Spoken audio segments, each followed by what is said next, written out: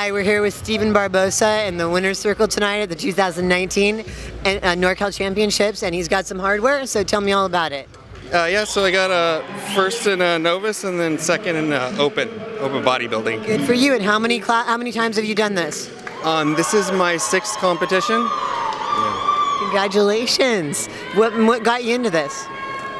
It was kind of one of those things that evolved. Like I always kind of wanted to look decent, so I bought like a weight set for my living room because I was way too insecure to go to the gym.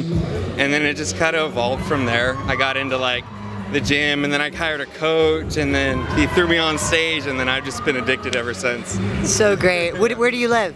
I live out in Yuba City, Marysville. Okay. Yeah. All right, that's cool. Well, what made you choose this, this show? Oh, I, I, usually, I try to do this show every year. You know, it's local. Uh, they yeah. treat the competitors really well. We try. Yeah, I mean, I, it's a it's a great show. You like the venue? Yes. I, oh yeah, I like this a lot actually. Good, yeah. Good, good. We really love it. We're hoping to stay here for a while. So, what's next for you? Um, Tahoe show. Oh, that's right around the corner, right? good, good. That's excellent. Who do you want to thank?